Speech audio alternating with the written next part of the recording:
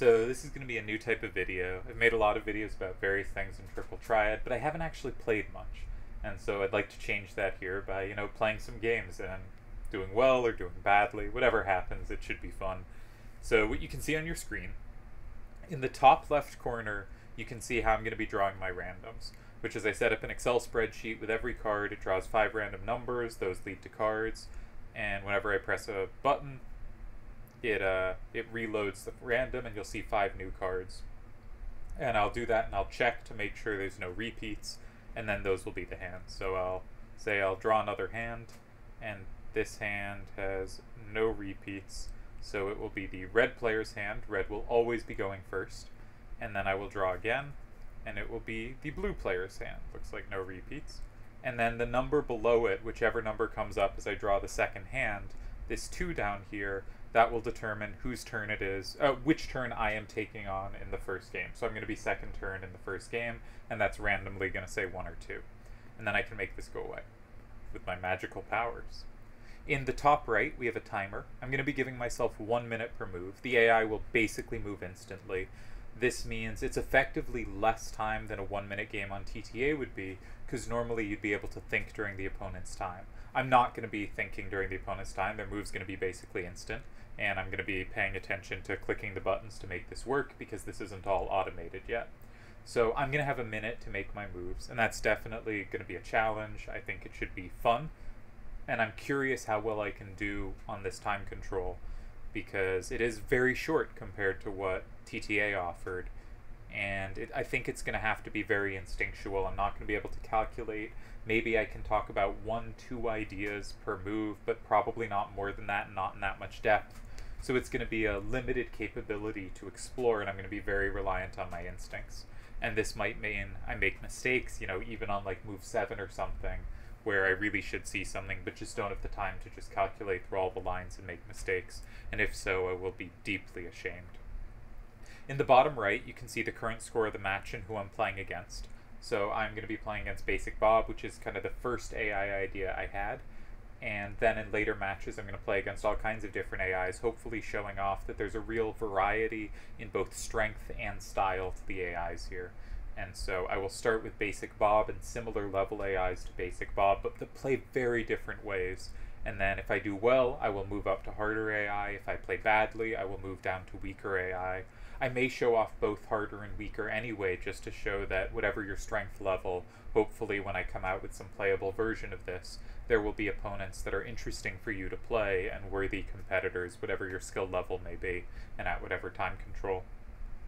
Uh, the starting rating is going to be 2000. I'm setting Basic Bob as the, uh, the default rating and making everything else around that. And I'll see if I can put up a result. I will adjust ratings between games. I won't do it exactly, but I can fix it between videos. And it'll give a sense of movement, and it gives a goal for me to work towards if I can do really well against Basic Bob, I'll jump up and start playing, you know, 2050 rated opponents. If I do really badly, I'll drop down and start playing 1950 rated opponents. And we'll see. And I guess that's all there is to it. It takes me a bit between games to load up. I'm now going to start loading up the game, which you will soon see in the center of your screen.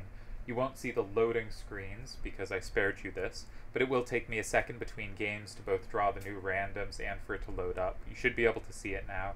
I have second turn, so I'm going to click AI move, and once it moves, I'm not really paying attention right now, I'm now going to click start and start thinking about my move. So against a corner starter, my first instinct is to look how can I address this, and I can take this lots of ways. With a 3 facing down, it's not really comboable. This 3 facing out actually is, but I have multiple ways to take it, many of them with 8s facing out, and they can combo the 8, so they actually can combo all my captures from here, but not necessarily from here. That means, weirdly, despite it being a 6, I am more oriented towards setting up against this side of it than setting up more against this one, because I already have a capture this way. Can I exploit their recaptures? Probably not. I also think I could look in the far corner. It looks like they don't address this very well, though this is not a card I really want to spend. But I think maybe it's worth it just because it is safe and I don't have a lot of time. It is one of my few cards that doesn't have an 8 to the right, but having spent a lot of time and not had a better idea, I will go with this, and we'll see what happens. I bet they'll go in 2. They did not go in 2. but they still left three open, so if I take from two, I'm comboable. Though they did give up the card that combos that. So I could now take this, but they did set up a new capture in four. But at some point, it is worth noting, I now can take that. Alright, did they set up against my play in 9? They did not. Do they have a directional weakness? They're generally, I probably should have looked for this on the first turn, but again, low time. Um, they're a little weak to the right, but it is hard for me to direct the game that way. If I made a move like this, it's a little tricky for them, but it's tricky for me too, because I don't have the recapture. So my instinct is just to take safety, but I was hoping I'd see better. I have not. We're low on time. Guess I'll go for it. And we'll play AI move. Alright, curiously they did not play 9289 in 4, which I guess probably would have led me to have good moves in 5. And I cannot take that, but I can play in 4 myself. My instinct is just to play something in like 3. They did set up the combo in 5, but all those cards have the same number facing out from that central card, the 7 facing 7 and 8 facing 8. So they're never comboing multiple things, and their captures in 4 and 5 depend on the same card. So whichever square they use it on, it will not be available for the other. And I also notice that if they go in 4 and I go in 5 with an 8 to the right, their 9848 cannot capture anything in 6, and their 9289 can only capture one card in 6.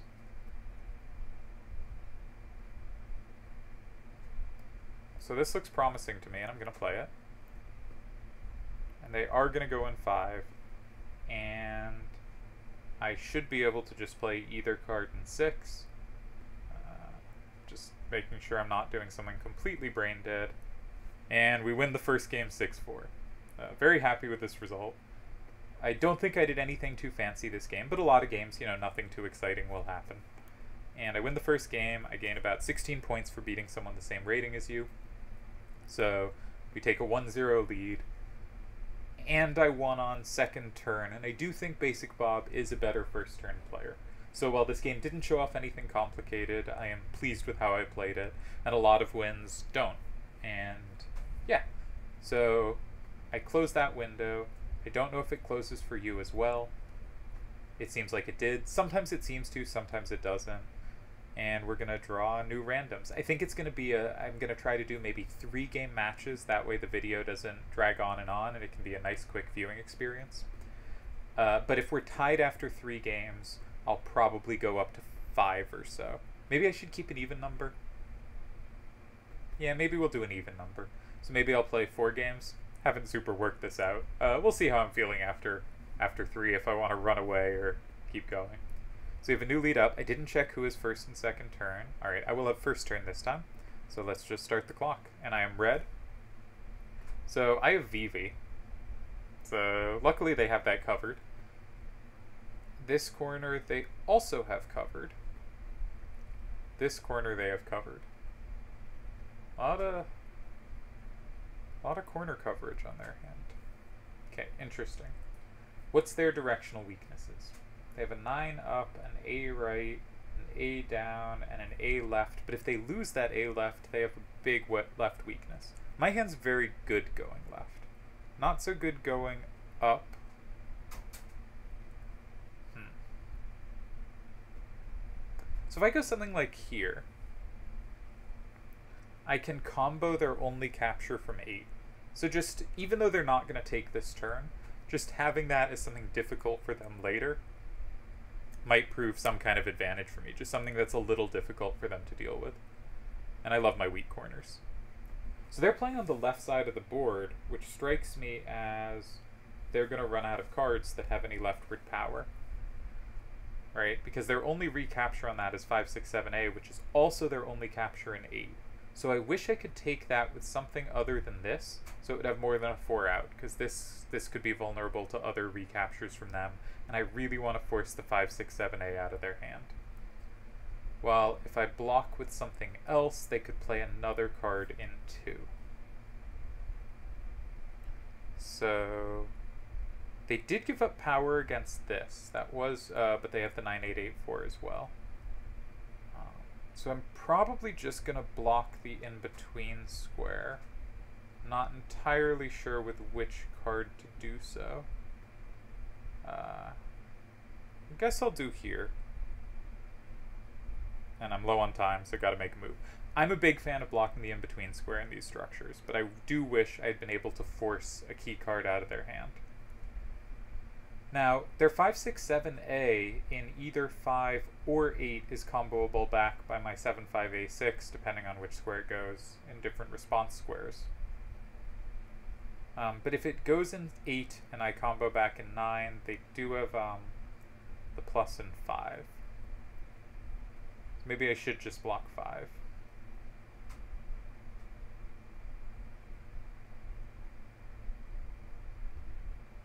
Want to take and be more forcing? No, I don't think so.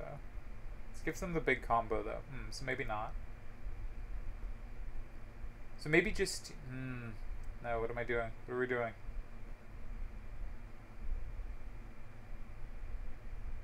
Alright, I'm going to take stuff because they have 8s and 7s down, and so my 7-5-A6 can dominate on the right row. And my idea here was to play this card here when anything they play in 2 I can combo, and the 5, 6, 7, A, and 9 I can combo. Sorry, anything they play in um 6 I can combo, and their better card in 8 I can combo, and I can overpower the other one. So this looks like a win to me, and I thought I didn't have time to say the calculation, but this looked and still looks winning. 7-5-A6 really played well here. Yeah, and we win the second game. Nice. Uh, very surprised by this result. I did record a, uh, or not record, but I did do a practice video just to make sure that, or not a video, but like just playing while trying to talk and saying what my moves were, so I wouldn't, like trying to explain what I was thinking, so I wouldn't be just totally incompetent at this on my first try. So I did practice, and I played five practice games versus Basic Bob, and I won the match three to two. So I was not expecting a 2-0 start. Basic Bob is a worthy, good opponent and uh, I'm showing you propaganda pretending I'm good at this game because uh, this is not this is not how the previous match went. Uh, so game number three, we'll draw a random. That looks all unique, so that'll be the red hand. And we'll draw another hand. And we have a two, so I'm going to be playing second turn this time. And that can go away. And we'll boot up the game again. Sorry for the downtime. Uh, nothing I can do about that at this point. And eventually we'll have better graphics too. This is all going to look very nice and I think be really cool. And was I first or second turn? Already forgot. Second turn. Okay. We're going to press AI move. And start the clock. Looks like I have a Rinoa and Tella Fusaya. That's unpleasant. Alright, so first thing I look at is how do I address their starter. I can take it two ways, but both way they combo back. That's ugly. Um, do they have directional weaknesses? They have all these 8s up and 8s down and nothing else. So They're better side to side. So I might want to direct the game up-down. I seem to have a bunch more power up-down. Um, something like this I could see playing out well, but I could also see playing out terribly. But it does make the game a little more up-down, and I really do want that. Should I keep the card with the 2 up or the 4 up?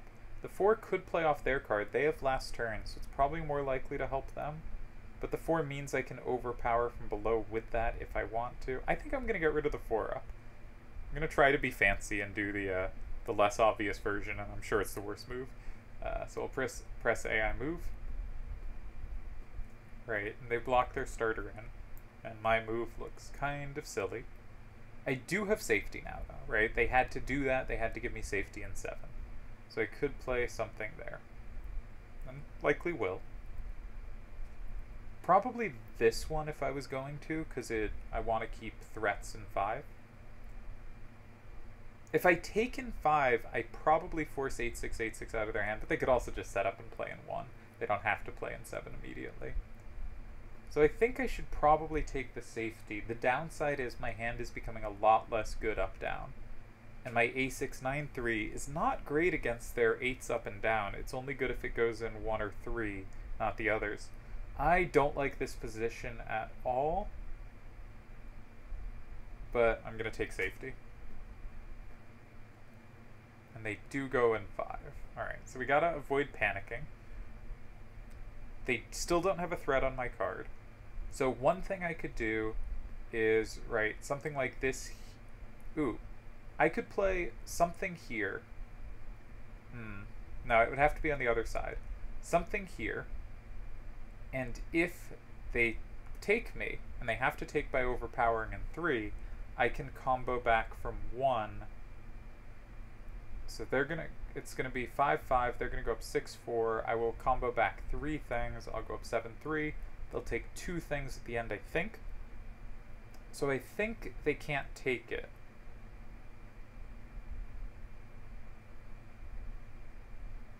But they can just hmm. Five five six four five. I think it loses to three A seven eight and six. Oh no, I'm out of time. I'm out of time. What can we do? Alright, I made a move. I think it's terrible. Definitely was terrible. Uh, yeah, just terrible move. Alright, so I should start the clock, but uh, panicked. I don't know if there was a save there. I, uh, I didn't find it. I spent too long on an idea that didn't work, and uh, I'm left with this easy loss in panic. But if we go back a sec, my idea was uh, geez, what was it? My idea was to go here, but I think the problem is, I'll reset the clock, is if they take it, I was hoping this worked. Oh, sorry, if they take it this way, um, I was hoping this worked. Oh, and it does. Why does it work? What was I missing? Did I just count wrong? I just counted wrong. Oh, sorry. Yeah, no, this was the line I saw. Yeah, no, I counted that one correctly. But then, as I said, they could play 3A78 here and the 8686 as a capture at the end. Because I, yeah. So, not sure this was a tie here. Not going to spend too long on this. Uh, the match is now 2 1. So, I won the second game, which should bring my rating up something like 15 and a half points.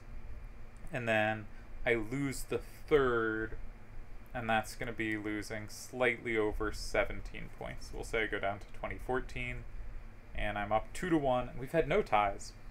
So I think that game was tricky from the start. I don't love my move in 7, I don't love my move in 2, and my final move was just a disaster. So we lose game 3. It's always good to good to lose a game somewhere though. Not not for any like real reasons, but for like dumb psychological reasons that, you know, once you've lost to someone, you no longer feel as much future shame when you lose to them. This might not make sense to anyone, but if you've never lost to someone, it can be really um, scary to play them because you know anytime you lose to them, you're risking like your ego in a larger way. Well, once you've lost to someone, it's no longer such an ego based thing. And it can be nice to have your ego let go. So I'm going to have second turn this time and we'll boot up the game. So it's 2-1. We will make it a four-game match. I think an even number of games is good. And, uh, uh, did not play well that last one, so we'll click AI move. You can't see me click that, but I like to say it so you know it's thinking. And we'll start the clock. So, how do I address their starter? I can take it here, they can combo back. I can take it here, they can combo back. So basically not at all. Um, can I set up any combos? No, no setups in 5. So again, gonna have to play distant. My hand looks really up down, so I might set, end up in, yeah, a far a far corner, a far side move again. Um, usually, I think you just want to use up the card that has like the least power facing their starter, which is a kind of weird principle, like to chuck this. I could also actually just play this here. Totally didn't consider whether I have safety anywhere. Um, they can take, but if they do so, they kind of open themselves up to a lot and give up all their rightward power. Alright, I'm going to try this. I was thinking to go in two, but now this looked like something where I could start trying to build out. Um, so if I take that they retake in seven, and then I can take that with something in four, and I have all these eights facing up that they're not actually good at dealing with. That looks promising to me. I know it's very vulnerable to like cues, but they don't have an obvious move in 3 or in 7. They might have something in 1. They probably have something in 1. But, oh, it's risky, because that one move is very scary. They don't even have a great setup there. I'm gonna I'm gonna try this. I'm gonna try to get rid of try to set up this wall of eights going upwards if they go in seven. Right, they did go in seven. So I shouldn't do it that way. I should do it this way. I did give up a lot of left to right power, but I never had much left to right power. So actually I don't particularly have less now. So if we go here and go up 6-4, um, and they play in one, they lose because of A8, 7, 3, and 2. If they play in two, they don't set up against six, so I can just play anything in one and they go three and I win. And if they go in three, I can take it with A8, 7, 3. Yeah, I think this is just a win. Alright, they went in two. Uh, so clearly didn't think they had anything, and I will take it. And they take back. Nice. Alright, so weird no tie first match. So that's very interesting. Uh, final score 3 to 1 me. Um, I gain, say, 15 and a half points for my final game. I'll round up to 2030, be nice to myself. And uh, come out of this with a 1 minute rating of 2030 and in the next video I will have a different opponent, and I'll probably record that now because I'm kind of enthused to keep playing. Uh, I do think Basic Bob's a good player. I think I did better in this than I expected to do. Like, I'm definitely not a 75% performer against this opponent. But I did lose a game showing Basic Bob his teeth, and I think you can see from the games that Basic Bob, you know, played reasonable moves, right? Even in this one where it was kind of a mess they played, you know, a very strong start looking starter in nine. When I went in six, they blocked it in an eight, very natural thing to do. When I went in five, they went in seven, recapturing their card in eight and locking that in. And then it just happened to be a loss at the end because the calculation wasn't deep enough and not enough understanding of the difficulty with dealing with my upward numbers, my eights facing up. But I think this is the kind of game a good player could lose. And I'm very pleased with how these AI are coming out, and I hope I hope you found these games interesting. I hope I didn't play too badly. I hope that third game was a tough position and I didn't blow it from nothing. And I'll see you in the next video when I'll have a new matchup.